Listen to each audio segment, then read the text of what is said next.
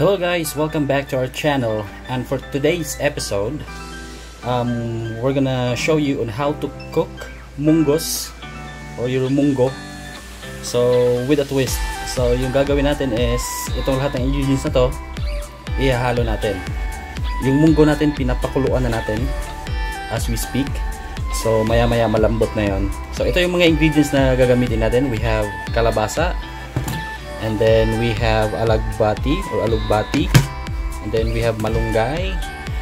And then we also have um, pork. Eto. So hiniwalay natin yung taba sa laman.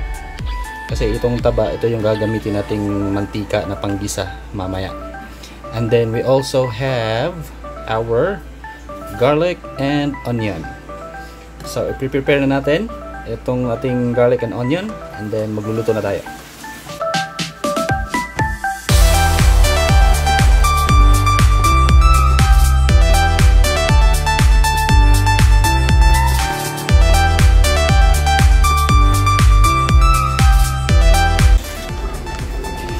Okay guys, so ito na po yung uh, munggo na pinapakuluan natin kanina. So malapit na po itong lumambot. So hayaan lang po natin itong mag-boil ng ilang ilan pang minutes and then magsisimula na tayong magluto ng munggo with malunggay and also alagbati and kalbasa.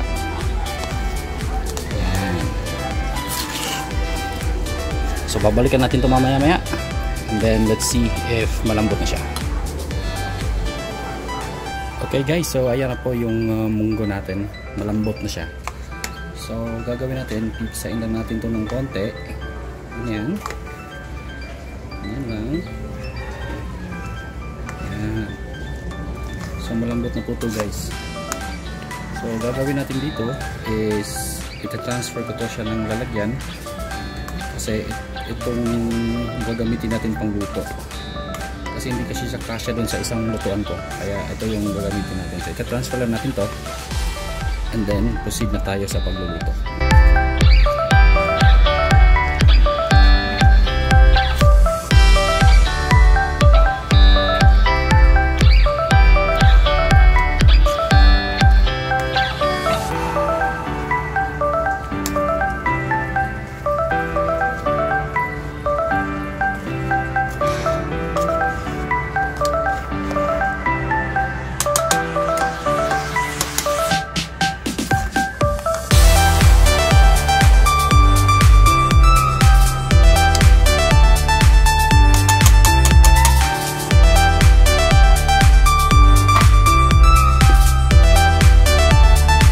Okay guys, so ito na po yung lutuan natin. Malinis na siya. And then the next step na gagawin natin is yung pork natin kanina, yung taba, ito-drop natin. Ganyan.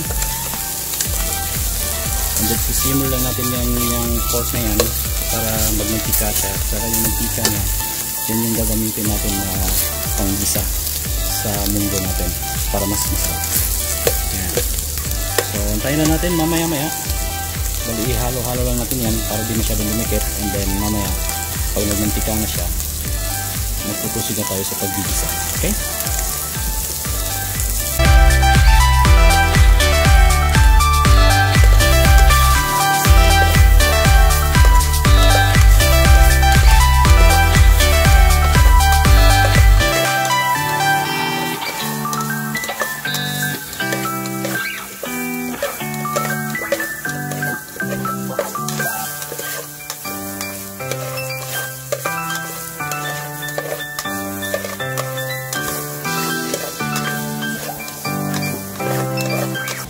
Okay, so ayan na po, nagmantika na po yung ano natin. So, bibisa na po natin yung bawang at sibuyas at the same time. So,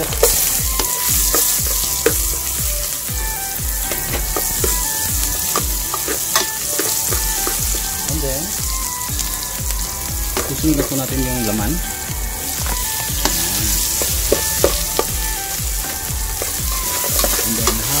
Po natin.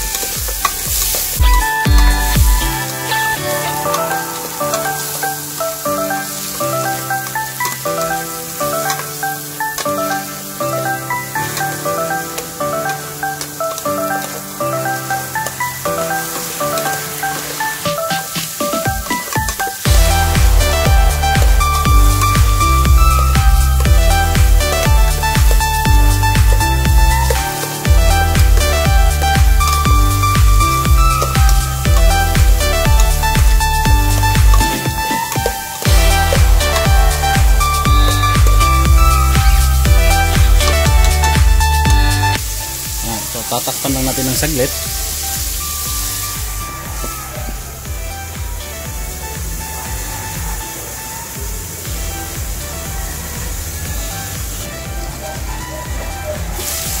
Yan. Haluin ulit natin.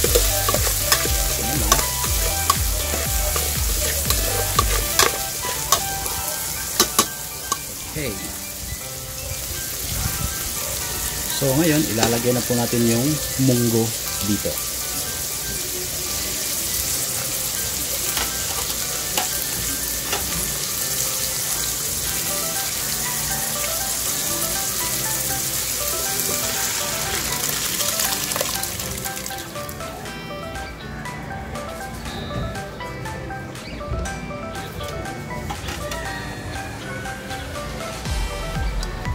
Yan po yung munggo natin. So haluin muna natin siya ng ganyan.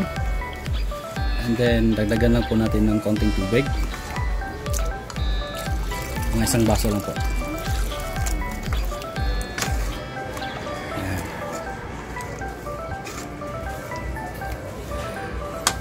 Okay, so hayaan lang po natin yung kumulo and then idadagdag na natin the rest of the ingredients. Babalik tayo.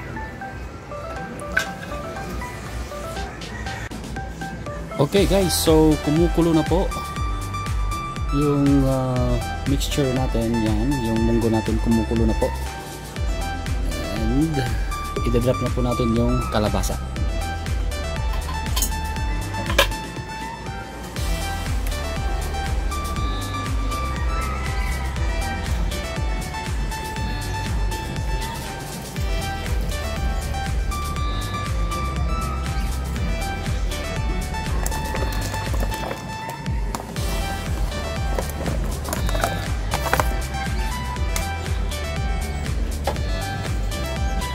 Ayan po. Na-drop na po natin yung kalabasa natin. So hintayin lang po natin na lumambot ito. Tatakpan muna natin tapos isi-simmer for a couple of minutes. Babalikan natin ito mamaya pag lumambot na yung kalabasa and then titimplahan na natin. Okay? So takpan muna natin and then we'll be back.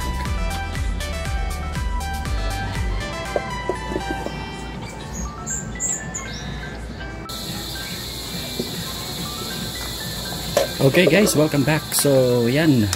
Uh, lumalambot na po yung kalabasa natin. Test natin. Test tayo ng isa. Yan. Natin. Yun, malambot na. Okay, so next step na gagawin natin dito is lalagyan natin ng um, konting soy sauce. Yung dahon natin, mamaya na natin ilagay yun kasi yung dahon madali lang maluto yan. Okay? So, lagyan muna natin ng soy sauce.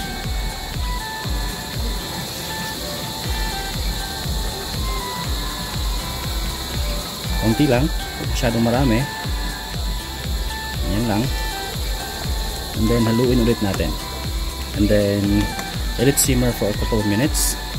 And by the way guys don't forget to subscribe and like our channel for more video cooking videos. Yan at saka yung ingredients nito ilalagay ko na lang din sa description box okay? So kayo na bahala yung tumingin dun sa ingredients ito. Simpleng-simple lang to guys. Kahit nakapikit, kaya itong lutuin. Yan. So, after nalagyan na natin ng soy sauce, titimplahan natin ng asin. So, pagdating naman sa asin, uh, kayo na po bahala uh, na magtimpla o mag-adjust dun sa preferred na ano nyo, kung gaano kaalat yung gusto nyo. Okay, so, lalagyan na natin ng asin.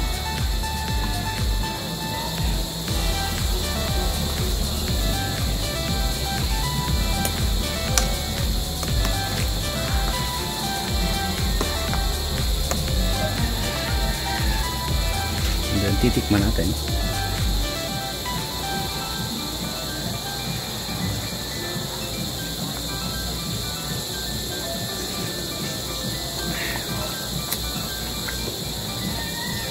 Tamang tama lang yung alat guys. And then lagyan natin ng konting MSG konti lang. Yun. And then titikman natin ulit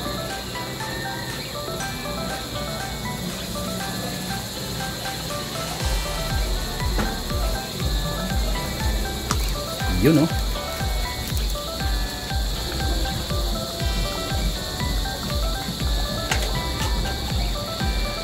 Okay, so ang next na ilalagay natin is yung alugbate. Ihuli natin ilalagay yung malunggay. Okay?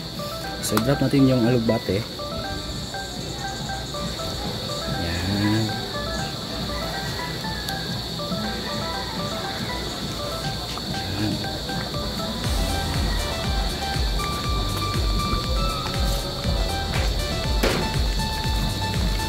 Haluin natin. Yan, to make sure na nahalo sila na evenly. Yan. Okay. Alright. So, pagkatapos niyan, sisimmer muna natin para medyo maluto yung dahon ng alugbate. So, ganyan. Babalikan natin yan after 5 to 7 minutes.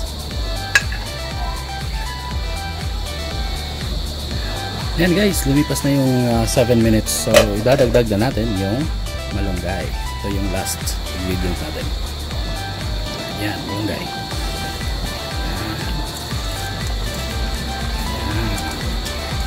napaka-healthy po nito malunggay yan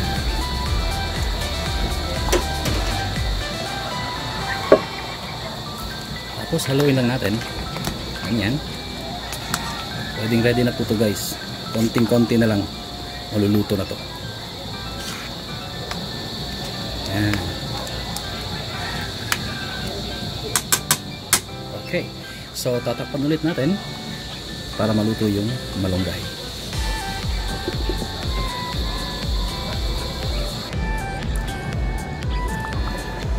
Okay guys, so ayan. Naku, ang bango-bango. Ayan na po yung munggo natin with malunggay, kalabasa, and aligbate. Ayan na po. Ready na po to. So, ita-transfer natin to sa lalagyan. At yan na po guys, luto na po yung ating munggo with malunggay, alagbati, and kalabasa. Yan, ang sarap-sarap. And always remember guys that cooking is an art.